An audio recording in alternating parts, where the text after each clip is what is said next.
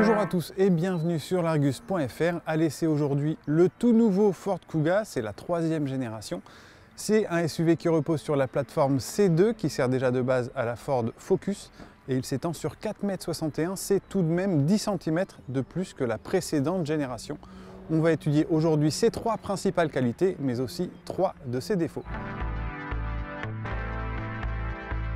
L'un des points forts du nouveau Kuga, c'est l'étendue de sa gamme. Il y en a pour tous les goûts avec des moteurs essence, des diesels et aussi différentes versions de motorisation hybride, dont une essence et rechargeable surtout pour une puissance cumulée de 225 chevaux et une autonomie 100% électrique annoncée par Ford à 72 km.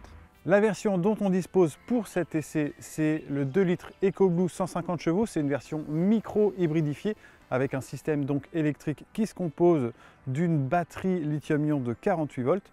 Elle va servir à aider le moteur thermique lors des accélérations dans le but évidemment de réduire la consommation. Le prix de base de cette version micro hybridifiée, c'est 37 100 euros.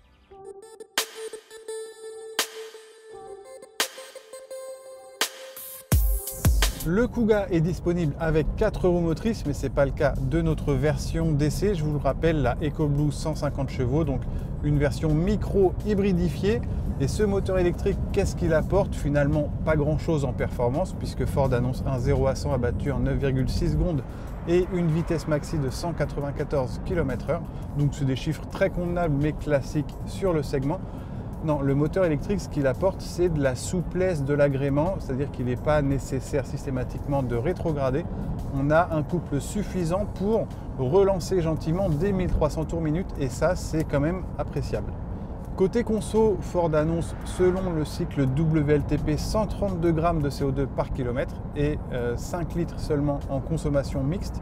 Alors nous, on est plutôt vers 6 litres, 6 litres et demi, mais on ne s'est pas montré spécialement concentré sur l'éco-conduite. Enfin, côté comportement routier, alors c'est pas une surprise pour ceux qui connaissent la marque Ford, c'est comme Peugeot bien réputé pour avoir des châssis dynamiques.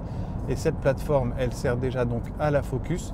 Le résultat, il est comparable. On a une voiture qui est plutôt dynamique, précise, avec une direction agréable, et un amortissement bien calibré entre fermeté et confort. Vraiment, c'est une voiture au volant de laquelle on fera des kilomètres sans se fatiguer et surtout avec du plaisir, même sur les routes sinueuses.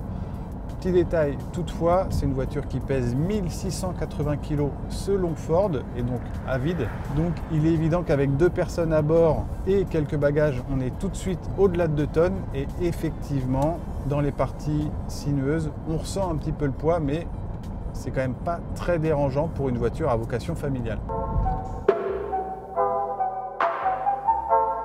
Je vous l'ai dit, le nouveau Kuga est plus imposant qu'auparavant. Avec une telle longueur, on aurait même pu espérer des 6e et 7e places avec des strapontins dans le coffre. C'est pas le cas. Et même pour la cinquième personne à bord du Ford, c'est pas l'idéal à cause d'un dossier et d'une assise qui sont franchement trop durs. En revanche, la bonne nouvelle, c'est que l'habitabilité pour 4, elle est vraiment généreuse. On a beaucoup d'espace aussi bien aux jambes qu'en garde au toit. il y a des petits détails sympas comme ces dossiers que l'on peut incliner et aussi cette banquette qui coulisse en deux parties de façon à moduler l'espace dont on a besoin ici et le volume de coffre. Le volume de coffre aussi entre 475 et 645 litres et il atteint 1534 litres lorsque les dossiers rabattables qui forment un plancher plat sont repliés. On ne peut que saluer l'équipement de base du Kuga qui même en finition traîne, c'est le modèle d'accès, embarque une multitude d'aides à la conduite. Je pense notamment au freinage d'urgence autonome avec détection piéton. Il y a aussi l'aide active au maintien dans la voie de circulation ou tout bêtement les radars de stationnement arrière mais aussi avant.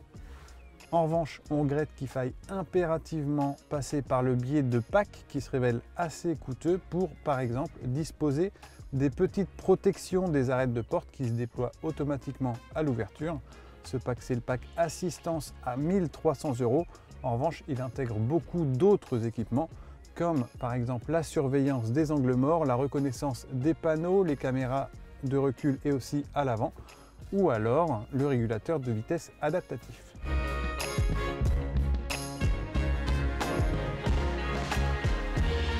Ça, c'est un défaut subjectif. Je trouve que ce tableau de bord n'a aucun charme. Je trouve qu'en termes de dessin, c'est mieux, par exemple, à bord d'un Peugeot 5008 ou alors chez la concurrence que Ford aimerait bien titiller, les constructeurs allemands, les constructeurs premium, je pense à Audi, BM ou Mercedes. Et pour ça, je trouve que ce tableau de bord manque euh, de charme, tout simplement.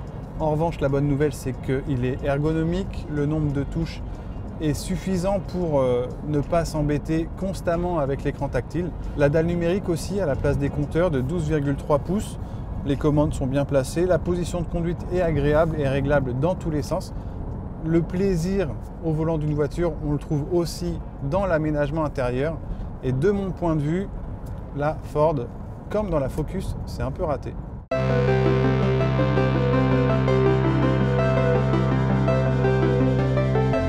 Dans l'inconscient collectif, une voiture hybride, c'est un véhicule qui est capable de temps en temps de rouler en mode 100% électrique, donc sans aucun bruit. Et ça, effectivement, ce Kuga n'en est pas capable.